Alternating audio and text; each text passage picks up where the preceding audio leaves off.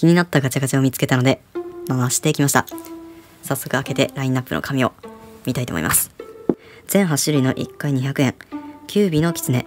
えー、8種類なんですが、色違いのポーズは2種類って感じですね。ポーズ的にはとってもかっこいいので、どれが当たってもいいなと思って回して、結果がね、こちらの赤いやつが出ました。はい、当たったのはこちら。えー、赤いキツネですね。さふさな感じの尻尾も可愛いし、塗装でも結構細かくしっかりと、ズレとかもないしね、いい感じじゃないでしょうか、これ。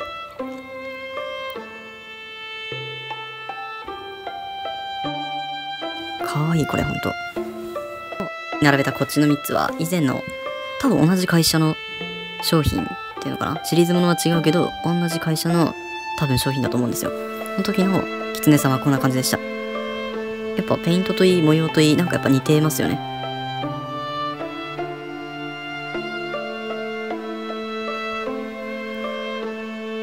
だよね。多分同じ会社な気がするんですけど。僕気に入ってて、やっぱいいですよね、これ。